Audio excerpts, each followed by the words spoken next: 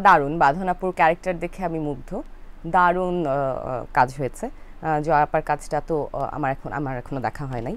তো সেই জায়গা থেকে আমি দুইজনকেই কনগ্রেচুলেশন জানাব এবং এটা দারুণ ব্যাপার বলে আমি মনে করি যে আরও সামনে এগিয়ে যাওয়ার পথটা ওনারা আমাদের জন্য সুগম করে দিলেন এবং I just appreciate them uh এটা তো প্রফেশনাল হ্যাঁ, স্বাধীনতা যে একজন শিল্পী হ্যাঁ। আহ, তার পছন্দ মতো একটা চরিত্রে কাজ করতে চান। এটা আমার পছন্দ বা আপনার পছন্দের তার চাইতে এগিয়ে থাকে হচ্ছে শিল্পী কোন কাজটায় নিজেকে দেখতে চান বা শিল্পী কীভাবে কাজটা করতে চান এবং শিল্পী ওই কাজটা আদৌ কাস্টেড কিনা ওই কাজটায় করতে পারছেন কিনা? ওইটার মেলবন্ধন হয়ে গেলেই ব্যাপারটা সুন্দর ঘটে যায়। আর কোন কাজটা করা উচিত কোন কাজটা করা উচিত না নিশ্চয়ই ওনারা বিচক্ষণ বুঝেই সিদ্ধান্ত নিয়েছেন। তো এখানে আমার দর্শক হিসেবে জাজমেন্টাল বলেনি বলেনি যে ওর সাথে না কাজ করব না এরকম হ্যাঁ, হ্যাঁ, এরকম? হ্যাঁ।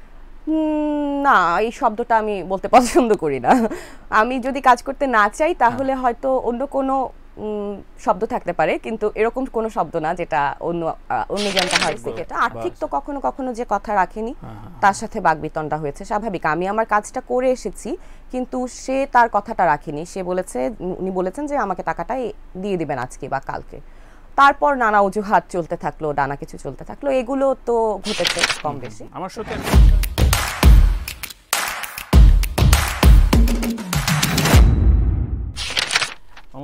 আমরা যদি একটু খাজুরি আলাপে যাই তাহলে ধরেন এটা কেমন?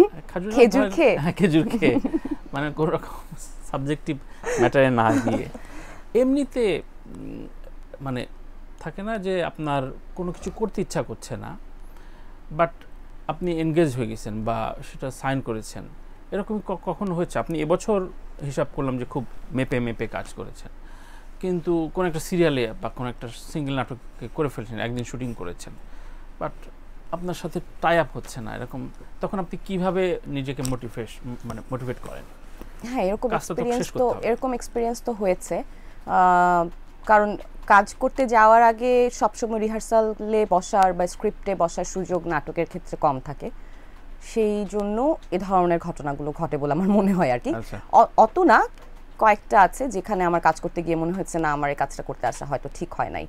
হয়তো গল্পের জন্য না হয়তো ডিরেক্টরের জন্য না কিন্তু হয়তো পরিবেশটা এমন বা আসলে আমার মিনিমাম মিনিমাম আমার প্রয়োজনটুকু আমি এখানে পাচ্ছি না যেটা ছাড়া আমার সারাদিন চলতে পারাটা সিকোয়েন্স করতে পারাটাই টাফ ধরেন আমি সিম্পল একটা ওয়াশরুম পাচ্ছি না সারাদিন বলার জন্য বলা আউটডোর বলার জন্য বলা না মানে দিস ইজ ফ্যাক্ট। আউটডোরে যখন আমরা কাজ করতে যাই চরের মধ্যে এরকম ধুধু প্রান্তর কোথাও ওয়াশরুমে যাওয়ার ফ্যাসিলিটিসটা একটা ফিমেল আর্টিস্টের জন্য নাই আমাদের দেশে। এটা কেউ ওভাবে ভাবেনও না। কিন্তু এটা কি যে ভয়ঙ্কর বোঝানো। সম্ভব না। সারাদিন আপনি এভাবে কাজ করে যেতে কি আসলে পারবেন? তাতে করে কি আপনার মন মেজাজ শরীর আপনাকে কাজ করার জন্য উপযুক্ত সহায়তা করবে? নাকি আপনি ঠিক থাকতে পারবেন? তো ওই ধরনের সিচুয়েশনসে গিয়ে কখনো কখনো হয়তো মনে হয়েছে যে এই কাজটা করতে আসা আমার।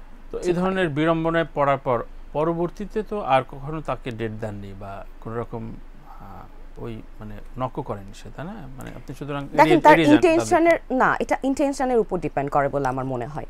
আহ, একটা বাথরুমের ব্যবস্থা করতে খুব বেশি মুশকিলের ব্যাপার না। ব্যাপারটা হচ্ছে ইন্টেনশন যে সম্মান করা একজন নারী শিল্পীকে আপনার ইউনিটে তো ফিমেল ক্রু আছে ফিমেল আর্টিস্ট আছে। তো আপনি যদি তাদেরকে একটু সম্মানের দৃষ্টিতে দেখেন তাহলে আপনার তাদের এই মিনিমাম চাওয়াগুলো একটা যে বসার জায়গা বাইরে যেহেতু এখন সেলফির টাইম মোবাইলের টাইম খুবই মানে কখনো কখনো এটা মুশকিল হয়ে দাঁড়ায়।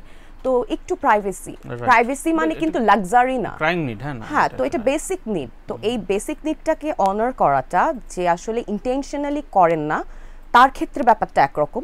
আর যে আসলে করে উঠতে পারেন না কিন্তু চান তার ক্ষেত্রে ব্যাপারটা আলাদা। নিশ্চয়ই তার সাথে আবার কাজ করার সুযোগ হয় এবং হবে। আচ্ছা আচ্ছা। আরেকটা হচ্ছে পেশাদার জায়গায় কনফ্লিক্ট হয়। বেসিক্যালি একটা প্রোডাকশনের সাথে কি কি নিয়ে? হতে পারে আর্থিক হতে পারে আপনি যেটা বললেন পরিবেশগত কিংবা কো আর্টিস্টের সাথে একটা ঝামেলা কি কি নিয়ে আসলে আপনাদের সমস্যা হয়? আপনার সমস্যা হয়? বলেন। অন্যদেরটা আমার বলা ঠিক হবে না। আমারটাই আমি যতটুকু বলতে পারি যে কথা দিয়ে কথা না রাখার একটা প্রবণতা ছিল কখনো কখনো। সেখানে বিরোধ হতো। যেমন সময় একটা বড় মুশকিল হয়ে দাঁড়াতো। অনেক সময় আমাদের কাজ শেষ করার কথা তখন র্যান্ডম কাজ হতো প্রতিদিন কাজ হতো ঈদের আগে তো বিশেষ করে অনেক বেশি রাশ প্রতিদিন রাত করে শুটিং করছি আবার ভোরবেলা শুটিংয়ে যাচ্ছি মানে এটা খুবই আনহেলদি একটা লাইফস্টাইল ছিল আর কি। তো তখন সময়ের কারণে হয়তো কথা ছিল বারোটার মধ্যে কাজটা শেষ হয়ে যাবে বা এগারোটার মধ্যে শেষ হবে আমি সেই সকাল সাতটা থেকে এসে বসে আছি কিংবা আমি দশটার সময় এসেছি কিন্তু কোনো না কোনো কারণে ঘটনাটা ঘটতেই পারেনি। সেই রাতের তিনটা বাজে চারটা বাজে শুটিংটা শেষ হয়েছে। তখন যখন চারটা বাজে আসলে একটা শুটিং শেষ হয় রাতের বেলা পরের দিন আমার পরের শুটিংয়ের কমিটমেন্টটা রক্ষা করা খুব ডিফিকাল্ট আবার ওই ওই ডিরেক্টর কিন্তু হয়তো পরের দিন শুটিং করছেন না। কারণ ওনার নাটকের দুই দিনই শুটিং ছিল উনি পরের দিন কিন্তু শুটিং করতে হচ্ছে না। ক্রুদের বা আর্টিস্টদের যারা হচ্ছে রেগুলার এই জবটার সাথে নিজেদের জড়িত রেখেছে তাদের জন্য খুব ডিফিকাল্ট ছিল। তো ওইখানে আমার সাথে বিরোধটা মূলত কখনো কখনো হয়েছে। আচ্ছা আচ্ছা। এ- এটাই বেসিক আর্থিক ভেরি বেসিক এটা। আর্থিক তো কখনো কখনো যে কথা রাখেনি হ্যাঁ, হ্যাঁ, তার সাথে বাগবিতণ্ডা হয়েছে স্বাভাবিক। আমি আমার কাজটা করে এসেছি কিন্তু সে তার কথাটা রাখেনি। সে বলেছে উনি বলেছেন যে আমাকে টাকাটা দিয়ে দিবেন আজকে বা কালকে। তারপর নানা অজুহাত চলতে থাকল নানা কিছু চলতে থাকল। এগুলো তো ঘটেছে কম বেশি। আমার সাথে একটা বিষয় অনেকের কাছে জানতে চাই যে ইগনোরেন্স শুরুর দিকে অনেক বড় আর্টিস্টরা নাকি কেউ কেউ বলেন এখানে শ্যামল মলা থেকে শুরু করে অনেকে বলেছেন যে শুরু দিয়ে অমুকে কাজ করতে চাইতো না আমার সাথে অমুকে। তো এই বিষয়গুলো আপনি আপনার ক্ষেত্রে কীভাবে দেখেন? আপনি যখন নতুন ছিলেন তখন সিনিয়রদের ইগনোরেন্স কেমন পেয়েছেন? আপনি যখন একটু পরিচিত হলেন তখন জুনিয়রদের কেমন বাজ বিচার করতেন? নাকি কাউকে না করেননি? এটা এটা কীভাবে সম্ভব সম্ভব হয়? এটা চিরায়ত অভিনয়ের ক্ষেত্রে খুব চিরায়ত। এটা অমিতাভ বচ্চনেরও ঘটনা আছে। একদমই। না আমার ক্ষেত্রে যেটা হয়েছে আমার সাধারণত নতুনদের সাথেই কাজ করা হয়েছে বেশি। অনেক সিনিয়র ডিরেক্টরদের সাথে কাজ করার সুযোগ এখনও co-artist। কোয়ার্টিস্ট কোয়ার্টিস্ট হ্যাঁ। কোয়ার্টিস্টের ক্ষেত্রে আমি অলওয়েজ ব্লেসড কারণ আমি সিনিয়র টু জুনিয়র সবার কাছে এক ধরনের অদ্ভুত ভালোবাসা এবং অ্যাকসেপ্টেন্স পেয়েছি। আপনার প্রেমে পড়ে যায় আর কি। সবাই তো প্রেমে পড়ে না কেউ স্নেহ করে। আচ্ছা। হ্যাঁ, তো সেই ক্ষেত্রে আমার এক্সপেরিয়েন্স বরাবরই ভালো ছিল। আচ্ছা। মেল ফিমেল বোথ আর্টিস্ট সব ধরনের বয়সে। কখনো বলেনি বলেনি যে ওর সাথে না কাজ করব না এরকম হ্যাঁ, হ্যাঁ, এরকম? না এই শব্দটা আমি বলতে পছন্দ করি না। আমি যদি কাজ করতে না চাই তাহলে হ্যাঁ। হয়তো অন্য কোনো শব্দ থাকতে পারে কিন্তু এরকম কোনো শব্দ না যেটা অন্য অন্যজনকে হার্ট করবে। আচ্ছা আচ্ছা। এখন গত কয়েক বছর ধরে নাকি অন দ্য সেট বা মেকআপ রুমে বা আড্ডার জায়গায় খুবই আপনারা আইসোলেটেড থাকেন এটা সবারই অভিযোগ। কেউ কারোর সাথে কথা বলে না যার যার মোবাইল নিয়ে ব্যস্ত। ইনফ্যাক্ট মানে সিনিয়র জুনিয়রদের সাথে যে একটা সংযোগ তৈরি এটা অনেক জুনিয়র আর্টিস্টরা বলেন যে ওনাদের সাথে কথা বলব কি? ওনারা তো আসলে নিজেরাই নিজের দিকে তাকিয়ে মানে ব্যস্ত থাকেন। আপনি ফ্যামিলি আড্ডায় বসেন বন্ধু আড্ডায় বসেন। একই একই। আপনি কিন্তু মোবাইল থেকে খুব একটা বিরত আহ, আমরা তো প্রায়শই একদম মোবাইল ধরবি না কেউ না, মোবাইল রাখ একটা জায়গায় তারপর আড্ডা দিব। তো এরকম তো আমরা করেছি নিজেরাই করেছি ফ্যামিলিতেই করেছি বন্ধুদের মাঝেই করেছি। এটা আর। এটা তো মানুষের জীবন সামাজিক অবস্থান সবকিছু মিলে এটা তো একক মানে কোনো কিছু না। জীবনের বাইরে তো না আর কি। রাইট এবছর আপনার দুই কলিগ দুটো হিন্দি ছবিতে অভিনয় করেছে। কেমন লাগল? বাঁধন এবং জয়ার অভিনয়। দারুণ। বাঁধনাপুর ক্যারেক্টার দেখে আমি মুগ্ধ। দারুণ কাজ হয়েছে। জয়াপার কাজটা তো আমার এখন, আমার এখনও দেখা হয় নাই। তো সেই জায়গা থেকে আমি দুজনকে কনগ্রেচুলেশন জানাব এবং এটা দারুণ ব্যাপার বলে আমি মনে করি যে আরও সামনে এগিয়ে যাওয়ার পথটা ওনারা আমাদের জন্য সুগম করে দিলেন এবং I just appreciate them a lot বাঁধনের কাজ এবং চরিত্রের যে গল্পের প্লটটা নিয়ে অনেকেই তর্ক তুলেছিল এবং অনেক কথা উঠেছে। আপনার দর্শনটা কি? যে চরিত্র তো চরিত্রই। আচ্ছা চরিত্র মানে যে কোনো গল্পেই যে কোনো তারকা যে কোনো শিল্পী কাজ করতে পারে। এইটুকু মিনিমাম স্বাধীনতা পাওয়া যাবে না? হ্যাঁ, এটা তো প্রফেশনাল স্বাধীনতা যে হ্যাঁ, একজন শিল্পী হ্যাঁ। তার পছন্দ মতো একটা চরিত্রে কাজ করতে চান। এটা আমার পছন্দ বা আপনার পছন্দের তার চাইতে এগিয়ে থাকে হচ্ছে শিল্পী কোন কাজটায় নিজেকে দেখতে চান বা শিল্পী কীভাবে কাজটা করতে চান এবং শিল্পী ওই কাজটা আদৌ কাস্টেড কিনা ওই কাজটায় করতে পারছেন কিনা ওইটার মেলবন্ধন হয়ে গেলেই ব্যাপারটা সুন্দর ঘটে যায়। আর কোন কাজটা করা উচিত কোন কাজটা করা উচিত না হ্যাঁ। নিশ্চয়ই ওনারা বিচক্ষণ বুঝেই সিদ্ধান্ত নিয়েছেন। তো এখানে আমার দর্শক হিসেবে জাজমেন্টাল হওয়ার কিছু নাই। আপনার কাছে কি মানে যে কোনো ধরনের বিতর্কিত যেই অর্থে বিতর্কিত ব্র্যাকেট আমি ব্র্যাকেট বন্দি অর্থে বলছি যে অর্থে বিতর্কিত বলা হয় দেশকে ছোট করে আপনার ইন্ডাস্ট্রিকে ছোট করে বা আপনার আপনার আপনার যে আইডিওলজি মানে মেনটেন করেন সেটাকে ব্যাহত করে সেই ধরনের চরিত্রে কাস্টিং হলে আপনি চরিত্র তো চরিত্র বলে কাজ করবেন কিনা? তো এটা আসলে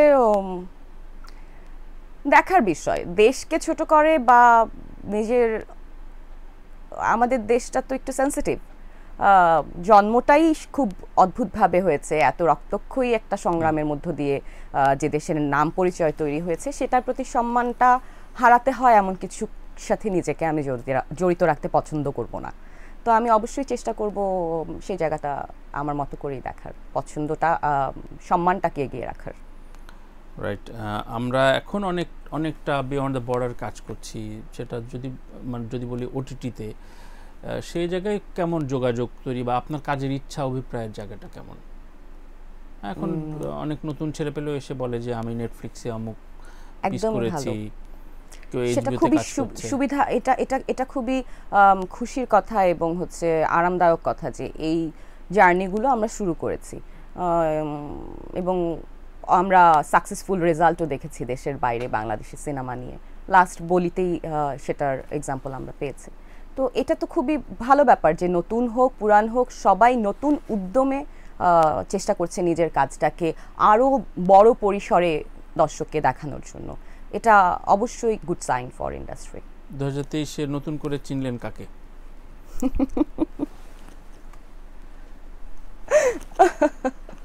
একদম পরিষ্কার উত্তর নিজেকে। নিজেকে। গভীর উত্তর হয়ে গেল।